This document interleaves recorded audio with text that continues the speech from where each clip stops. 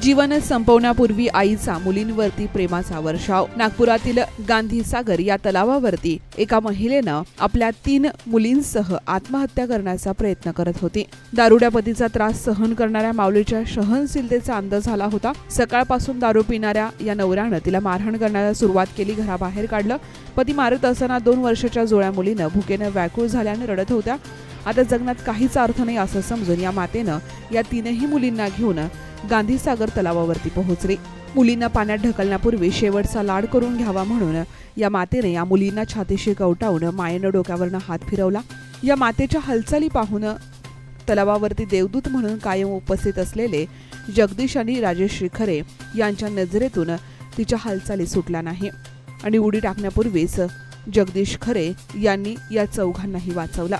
बत्तीस वर्षे या महिलेची मोठी मुलगी पाच वर्षाची आणि दोन जुळ्या मुली या दोन वर्षाच्या होत्या. धुनीबांडी करून तिचा संसार सुरू होता. मात्र पती मोलमजुरी करायचा त्याला दारूचं व्यसन होतं.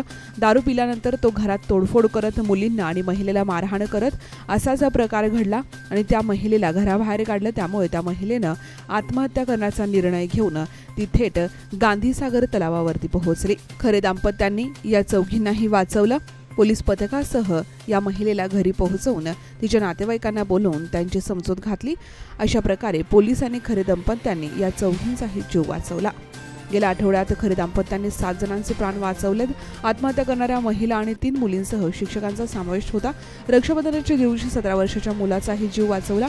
तीन दिवसापूर्वी साठ वर्षीय वृद्ध महिलेचा देखील आत्महत्या करण्यासाठी आली होती. तिचाही जीव या दाम्पत्याने वाचवला. Bureau report news twenty four Nagpur.